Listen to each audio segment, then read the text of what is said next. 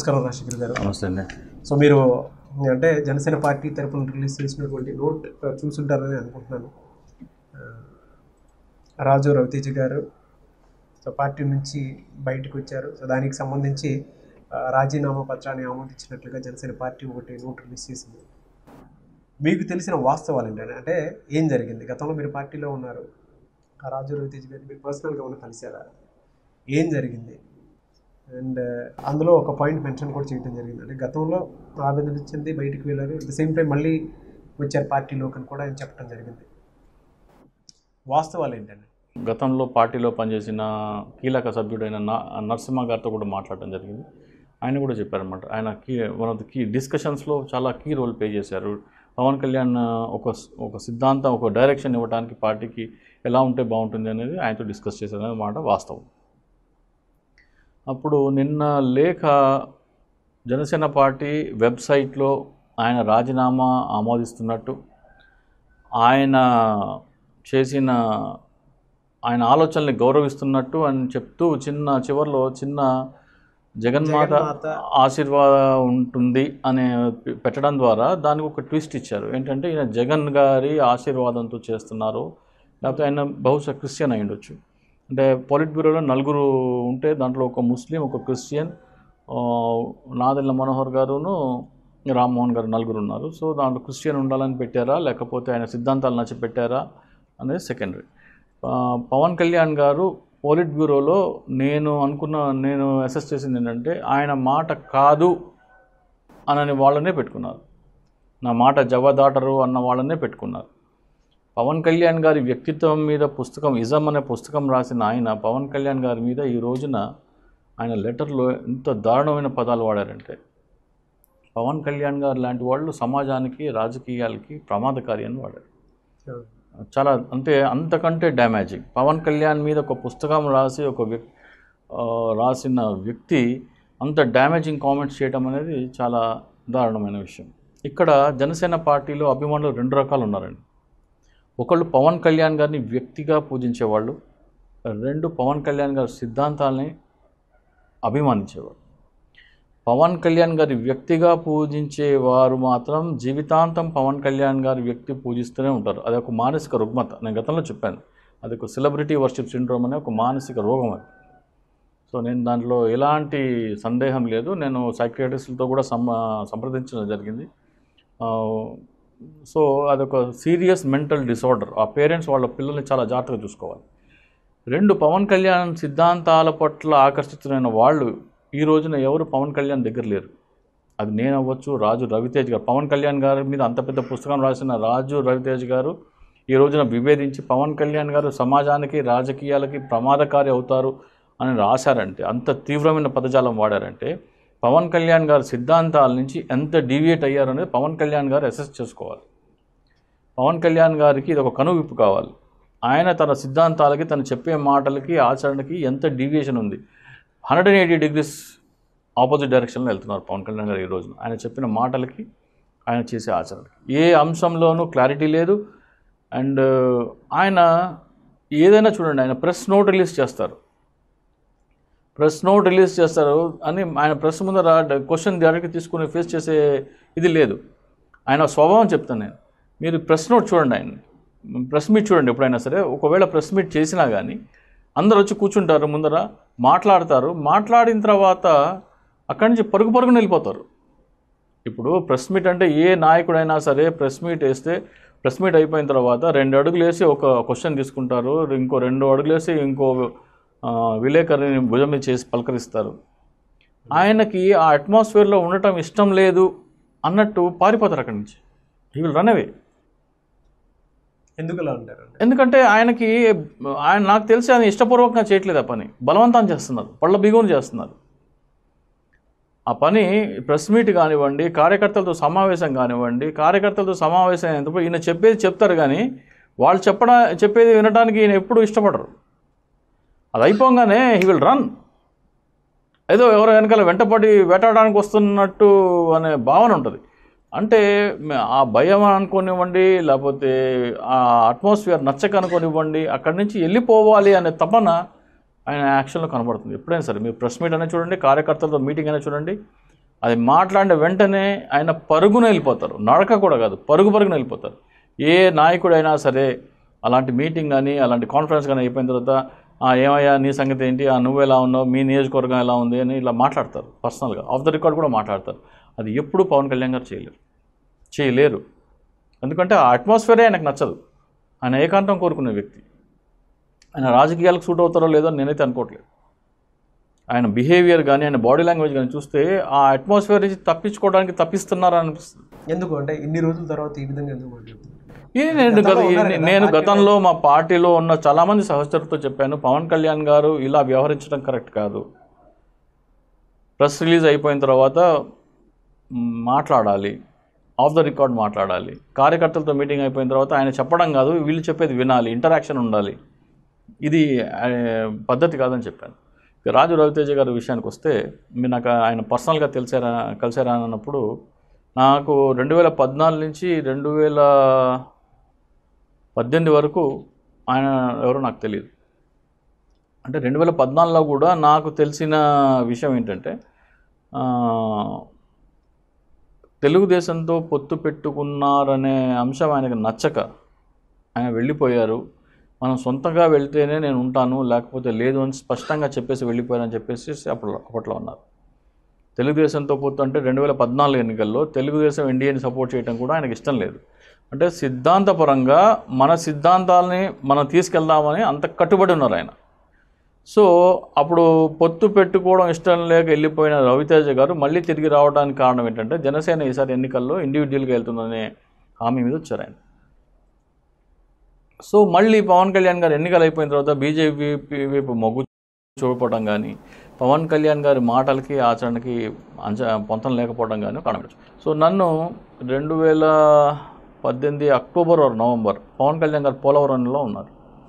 నేను హైదరాబాద్లో ఉన్నప్పుడు పవన్ కళ్యాణ్ గారు పోలవరంలో ఉన్నప్పుడు నాకు రాధా మాధవ్ గారు ఫోన్ చేసేసి మీ దగ్గర రీకాల్ చట్టం గురించి మీరు ఒక డ్రాఫ్ట్ తయారు చేశారు కదా అది తీసుకుని అర్జెంటుగా రేపు మార్నింగ్ పోలవరం రండి అన్నారు. నేను పోలవరం వెళ్ళటం జరిగింది. పోలవరం వెళ్ళంగానే అక్కడ రాజు రవితేజ గారికి మీ డాక్యుమెంట్స్ చూపించండి అని అంటే నేను వెళ్ళి పవన్ వెళ్ళేటప్పటికల్లా పవన్ కళ్యాణ్ గారు పంచాయతీ ప్రెసిడెంట్ల మీటింగ్లో ఉన్నారు. ఆ మీటింగ్ అయిపోయిన తర్వాత రాజు రవితేజ్ గారు నన్ను పిలిపించి మాట్లాడడం జరిగింది. నేను ఇచ్చిన రీకాల్ చట్టం డ్రాఫ్ట్ ఆయన చూడటం జరిగింది. నేను ఆయనతో మాట్లాడిన ఆ పావు గంట ఇరవై నిమిషాల సేపు ఇలాంటి వాళ్ళు ఉంటే పవన్ కళ్యాణ్ పక్కన పవన్ కళ్యాణ్ గారు తప్పక ముఖ్యమంత్రి అవుతారు సమాజానికి మార్పు తీసుకొస్తారని చెప్పేసి నాకు ఆ- ట్వంటీ మినిట్స్లో నన్ను ఎంతగా ఎంత ఇంప్రెస్ చేశారంటే ఆయన భాష కానివ్వండి ఆయన వాడే పదాలు కానివ్వండి సమాజం పట్ల ఆయనకున్న కన్సర్న్ కానివ్వండి. రీకాల్ చట్టం అంటే ఏంటంటే చాలామందికి తెలియదు మన దగ్గర ప్రజాప్రతినిధి ఎన్నికైతే ఐదు సంవత్సరాల పదవీ కాలం గ్యారంటీ. విదేశాల్లో ఏంటంటే ఎవరైతే ఎన్నికలు ఓటేసి గెలిపించారో వాళ్ళకి ఆ అభ్యర్థి నచ్చకపోతే వాళ్ళు వెనక్కి పిలిచే అవకాశం ఉంది. ఆ చట్టాన్ని జనసేన పార్టీ తరఫున అమలు చేయాలని చెప్పేసి రాజు రవితేజ గారు కోరుకున్నారు. అంటే రాజకీయాలలో ఎంత మార్పు తీసుకురావాలని ఆయన ఆతపించారో అనేది మనం ఆలోచించాలి. సో నన్ను ప్రత్యేకంగా హైదరాబాద్ నుంచి తీసుకుని అది రండి. పవన్ కళ్యాణ్ గారితో ఈ రీకాల్ చట్టం గురించి ఆయన డిస్కస్ చేస్తారు అని చెప్పి ఆ డ్రాఫ్ట్ ఆయనకు చూపించమంటే ఇవ్వడం జరిగింది. ఆయనకు ఒక కాపీ ఇవ్వడం జరిగింది. సో ఆయన అంటే ఆయన మా ఆయన భాష ఇంగ్లీష్ అత్యద్భుతమైన ఇంగ్లీష్ మాట్లాడతారు. మరి సమాజం పట్ల ఎంతో కన్సర్న్ ఉంది ఆయనకి. అలాంటి వ్యక్తిని కాకుండా పవన్ కళ్యాణ్ గారు ఈ రోజున చుట్టుపక్కల ఎవరిని పెట్టుకున్నారండి? సిద్ధాంతపరంగా ఉన్న వాళ్ళు ఎవరు పక్కన పవన్ కళ్యాణ్ గారు పక్కన లేరు. నంబర్ వన్ నేమ్ నేను చెప్తాను జడి లక్ష్మణ్ గారు. సిద్ధాంతపరంగా జనసేన పార్టీలో ఎవరైనా సరే నీతికి నిజాయితీకి మారుపేరని ఈ రోజున ఎవరైనా పేరెత్తి ఏలి చూపించండి నేను వన్ పర్సెంట్ పిక్ చేయమంటే జేడి లక్ష్మణ్ గారు. ఆయన పార్టీలో స్థానం లేదు. పది కిలోమీటర్ల దూరంలో పెట్టారు ఆయన. ఏదో మా విశాఖపట్నంలో మీటింగ్ పెడితే ఆయనను కూడా పిలవకపోతే బాగోదని చెప్పి బలవంతాన పిలిచారే తప్ప ఆ తర్వాత ఏ మీటింగ్కి పిలవలేదు. నిన్న కాకినాడ సభకు కూడా ఆయన వెళ్ళినట్టు మనకేం కనబడట్లేదు. ఎందుకు అలా అంటారు సార్ అంటే? పవన్ కళ్యాణ్ గారి చుట్టూ ప్రలోభాలకి లోనయ్యి మందు విందు పొందు పసందు. అంటే పవన్ కళ్యాణ్ గారి చుట్టూ ఉన్న వాళ్ళు డబ్బు చేసుకోవడానికి ఉన్న వాళ్ళు మాత్రమే పవన్ కళ్యాణ్ గారితో ట్రావెల్ చేస్తున్నారు ఈ రోజున. అభిమానులు అంటారా పవన్ కళ్యాణ్ అనే వ్యక్తి నచ్చి ఆయన అభిమానిస్తున్నారు. పవన్ కళ్యాణ్ గారు ఏం చేసినా వాళ్ళకి ఓకే. అది తప్పు ఒప్పు అనే విచక్షణ వాళ్ళకి లేదు ఆ వివేకం వారికి లేదు. పవన్ కళ్యాణ్ ఏం చేసినా సమర్థించే వాళ్ళు మాత్రమే ఈ రోజున పవన్ కళ్యాణ్ గారిని అభిమానిస్తున్నారు.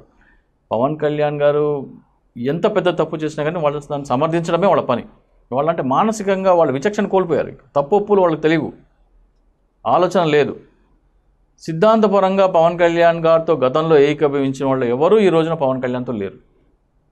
అయితే పవన్ కళ్యాణ్తో దగ్గరుండి డబ్బులు సంపాదించుకుందాం అనుకునే గ్యాంగ్ ఒకటి ఉంది. పవన్ కళ్యాణ్ గారు చుట్టూ వాళ్ళే ఉన్నారు. ఇంకా అభిమానులు కార్యకర్తలు అంటారా? పవన్ కళ్యాణ్ గారు సిద్ధాంతపరంగా ఏం మాటల్లో ఆయన భగత్ సింగ్ లాగా ఉందాము చెగువేరే లాగా ఉందాము అని చెప్పి దానికి పూర్తి భిన్నంగా ఆయన ప్రవర్తించినా కానీ వీళ్ళకి సబవే వాళ్ళు వ్యక్తిపూర్తి చేస్తున్నారు. గుడ్డిగా సమర్థించుకోవడమే వీళ్ళ పని. ఇప్పుడు సోషల్ మీడియాలో ఒక ఇది కూడా వచ్చింది. నమ్మక ద్రోహి అని ఏదో అని అంటున్నారు. దేనికి అంటే పవన్ కళ్యాణ్ అనే రాజు రాజు రవితేజ నమ్మక ద్రోహి అని చెప్పేసి ఏదో వచ్చింది. రాజు రవితేజ ఎవరికి ద్రోహం చేశాడు? పవన్ కళ్యాణ్కి ద్రోహం చేశారా? లేకపోతే పవన్ కళ్యాణ్ సిద్ధాంతాల నుంచి డివియేట్ అయ్యారని దూరం అయ్యారా? పవన్ కళ్యాణ్ సిద్ధాంతాల నుంచి చెప్పిన సిద్ధాంతాల నుంచి దూరం జరిగి ఆ సిద్ధాంతాలకు పవన్ కళ్యాణ్ ద్రోహం చేశారు. రాజు రవితేజ అనే కానివ్వండి నేనే కానివ్వండి నాలాంటి ఎవరైతే బయటికి వచ్చారో వాళ్ళు సిద్ధాంతాల పట్ల ఆకర్షితులై వచ్చారు. పవన్ కళ్యాణ్ చెప్పే మాటల పట్ల ఆకర్షితులై వచ్చాము. మేము ఆ మాటలకి ఇప్పటికీ కట్టుబడి ఉన్నాము. పవన్ కళ్యాణ్ ఆ మాటల నుంచి తప్పుకున్నారు. యూటర్న్ తీసుకున్నారు. ఏ అంశమైనా తీసుకోండి పవన్ కళ్యాణ్ గారు. పవన్ కళ్యాణ్ గారు ఈ రోజున ప్రెస్ ప్రెస్ మీట్లో జగన్మాత అని అంటున్నారు. అంటే ఈయనకి ఒక క్రిస్టియన్ ట్యాగ్ తగిలిచ్చేసేసి జనసేన పార్టీని డిఫెన్స్ చేసుకోవడానికి డిఫెండ్ చేసుకుని ఉన్నారు. పవన్ కళ్యాణ్ గారు గతంలో ఎన్నికల టైంలో చేసింది ఏంటండి? మాయావతి పాదాలు ఎందుకు అన్నిసార్లు మొక్కారండి? నాలుగైదు సార్లు మాయావతికి పాదాభివందనం చేశారు. అంటే ఒక దళిత నేతకి పాదాభివందనం చేస్తే నాకు దళిత ఓట్లు వస్తాయని కదా ఆయన చేసింది. జగన్మోహన్ రెడ్డి గారికి ఇది ఎస్సీ ఎస్టీ బ్యాకింగ్ ఉంది. ఆ ఓటు బ్యాంక్ని బ్రేక్ చేయడానికి కదా మాయావతి అవినీతి ఆనకుండా ఆయన మాయా మాయావతిని తీసుకొచ్చింది. జగన్మోహన్ రెడ్డి గారి మీద అవినీతి ఆరోపణలు చేసే మీరు అవినీతి ఆరోపణలో ఉన్న మాయావతితో మీరు ఎందుకు పొత్తు పెట్టుకున్నారు? ఈ రోజున జెండా పండగ అని చెప్పేసి ఆర్మీ ఫ్లాగ్ డే గురించి మాట్లాడుతున్నారు పవన్ కళ్యాణ్ గారు. సినిమా థియేటర్లో జనగణమన ప- ప్రదర్శించడంపై నాకు ఆయన దానికి వ్యతిరేకించారు కదా? సినిమా థియేటర్లో జనగణమన అది సందర్భం కాదు అది ప్లేస్ కాదన్నారు. ఎందుకు ప్లేస్ కాదంటే మేము పూలు తీసుకొస్తాము పూలును జ- పేపర్లు తీసుకొచ్చి ఐటమ్ సాంగ్ల మీద చిమ్- చిమ్మటానికి తీసుకొస్తామంటున్నారు. అది సందర్భం కాదంటే మరి ప్రతి సినిమా ముందర దేవతార్చన ఉంటుందండి. ఆ సినిమా బ్యానర్ ప్రొడక్షన్ వాళ్ళది. వెంకటేశ్వర స్వామి సాయిబాబా అయ్యప్ప స్వామి వీళ్ళందరిది ఉంటుంది. ఒక వ్యక్తి సినిమా థియేటర్కి వస్తున్నాడంటే భారతదేశంలో స్వేచ్ఛగా ఇంటికి తిరిగి వెళ్తాననే భరోసాతో వస్తున్నాడండి. ఇక్కడ నాకు బాంబ్ సూసైడ్ బాంబ్ అటాక్ ఉండదు. నాకు దారిలో ఎవరు దోచుకోరు. నేను ఇంటికి సేఫ్గా వెళ్తాను అంటున్నారు. దానికోసం ఒక వ్యవస్థ పనిచేస్తుంది. దానికోసం వ్యవస్థ ఎక్కడ? విదేశాల్లోకి వెళ్ళి శత్రువుల మధ్యలో మన దేశ పౌరులు రా ఏజెంట్స్ కానీ ఎవరైనా సరే వెళ్ళి విదేశాల్లో ఇక్కడ ఏ బాంబ్ అటాక్ చేస్తారో అక్కడ వెళ్ళి కూపీలు ఆగుతున్నారు వాళ్ళు ప్రాణాలు తెగించి పనిచేస్తున్నారు. సరిహద్దులో సైనికుడు ప్రాణాలు తెగించి నిలబడుతున్నాడు. మన దేశం అంతర్గతంగా పోలీసు వచ్చి నిలబడుతుంది. భద్రత. ఈ అన్నీ ఒక వ్యవస్థ కింద పనిచేస్తున్నాయి. ఈ వ్యవస్థకి గౌరవించడమే జాతీయ గీతానికి నిలబడటం. థియేటర్కి స్వేచ్ఛగా వస్తే మనం స్వేచ్ఛగా ఇంటికి వెళ్తాము అనే భరోసా ఇచ్చేది ఒక వ్యవస్థ. ఆ వ్యవస్థకి గౌరవించడం అండి. జాతీయ గీతాన్ని నిలబడడం అంటే సినిమా థియేటర్లో జాతీయ గీతం ప్రదర్శనకి సబబు కాదు. కానీ సినిమా థియేటర్ బ్యానర్ వాళ్ళు దేవతార్చన పాటలు వెంకటేశ్వర స్వామి స్తోత్రం పెడతారు సాయిబాబా స్తోత్రం పెడతారు అది సబబేనా? అంటే మీరు ఐటమ్ సాంగ్లకి తెచ్చుకున్న పూలు విసరడానికి జాతీయ గీతం అడ్డంకి అయినప్పుడు మీరు సినిమా బ్యానర్కి స్టార్టింగ్లో చెప్పే దేవతార్చన అది అడ్డంకి కదా మీకు? ఎంత అవకాశవాదం అండి ఇది? మీ సిద్ధాంతాలకి మీ- మీరు చెప్పే సిద్ధాంతాలకి మీ ఆచరణకి ఏమైనా పొంతనుందా అసలు? ఇవన్నీ ఆలోచించిన వారు పవన్ కళ్యాణ్ గారికి దూరం అవుతారండి. పవన్ కళ్యాణ్ని మర్డర్ చేసినా పర్వాలేదు. పవన్ కళ్యాణ్ లంచం తీసుకున్నా పర్వాలేదు. అవినీతి జనసేన పార్టీలో కోట్ల రూపాయల అవినీతి జరిగింది. పార్టీ ఫండ్ కోట్ల రూపాయల అవినీతి జరిగింది. ఎలా ఏ విధంగా చెప్తారు మీరు? ఆధారాలు లేవు. ఆధారాల గురించి మాట్లాడొద్దు. ఎవరికి ఎలా టికెట్లు వచ్చాయి? అన్నీ జరిగినాయండి చిన్న చిన్న పదవుల దగ్గర ఇవ్వడానికి స్పోక్స్ పర్సన్ పద పదవులు ఇవ్వడానికి దగ్గర నుంచి మందు విందు పొందు పసందని నాలుగు పేర్లు పెట్టాను. ఇవన్నీ అన్ని ప్రలోభాలకి అందరూ లొంగారు. అలాంటి వాళ్ళని పక్కన పెట్టుకొని సిద్ధాంతపరంగా పవన్ కళ్యాణ్ పట్ల ఆకర్షితులైన వాళ్ళని దూరం పెట్టారు. మీకు పవన్ కళ్యాణ్ పక్కన ఉన్న వాళ్ళు జేడీ గారి కంటే నేను నిజాయితీ జేడీ గారి కంటే మీకు వాళ్ళు ఇంటలెక్చువల్సా ఎంతమంది దూరం పెట్టారు? మీకు ప్రజల పట్ల సమాజం పట్ల కన్సర్న్ ఉంటే జేడీ గారి ఇన్పుట్స్ మీకు అవసరం లేదా? పవన్ కళ్యాణ్ గారి పక్కన వాళ్ళ దగ్గర ఏం ఇన్పుట్స్ ఇస్తారండి వాళ్ళు? మీడియా మీడియా హరిప్రసాద్ ఉన్నారు ఆయనకి ఐటీఐకి త్రిబుల్ ఐటీకి తేడా తెలియదు ఒక ప్రశ్న ఒకటి ఇచ్చారు. Basar students triple IT students వస్తే ఐటీఐ స్టూడెంట్స్ అని రాశారు. ఆ స్టూడెంట్స్ అని అడిగారు ఏమండి మమ్మల్ని మేము ఇంజనీర్లు అనుకుంటే మీ ప్రెస్ రోడ్లు మమ్మల్ని తాపీ బేసులు చేస్తారండి అని అన్నారు. అంటే తాపీ బేసులు కించపరుస్తున్నానని కాదు. వాళ్ళు ఒక చదువు చదివితే వాళ్ళు ఏం చదువు చదివారో కూడా తెలియని వాళ్ళు పవన్ కళ్యాణ్ గారు రాజకీయ సలహాదారు. పార్టీ పార్టీని పార్టీని ప్రేమించినోడు ఆవేదన చెందుతున్నాడండి ఈ రోజున. పవన్ కళ్యాణ్ గారి సిద్ధాంతాలని ప్రేమించిన వాళ్ళు ఈ రోజున ఆవేదనతో ఉన్నారు.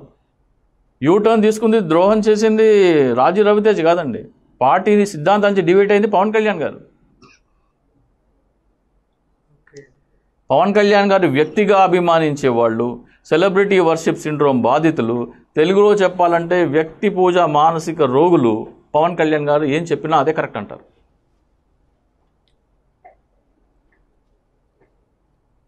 పవన్ కళ్యాణ్ గారి సిద్ధాంతం పట్ల ఆకర్షితులై పార్టీకి పవన్ కళ్యాణ్ గారి సిద్ధాంతం పట్ల ఆకర్షించిన వాళ్ళు పవన్ కళ్యాణ్ గారు సిద్ధాంతాల నుంచి డెవియేట్ అయ్యారు కాబట్టి ఆయన్ని ఎత్తి చూపిస్తారు పవన్ కళ్యాణ్ గారి మొట్టమొదటి సిద్ధాంతం ఏంటంటే పవన్ కళ్యాణ్ తప్పు చేసినా పవన్ కళ్యాణ్ తల తెగిపడాలన్నారు ఆ సిద్ధాంతాన్ని నమ్మిన వాళ్ళు పవన్ కళ్యాణ్ తప్పులు ఎక్కడున్నా సరే పవన్ కళ్యాణ్ గారిని ఎత్తి చూపిస్తారు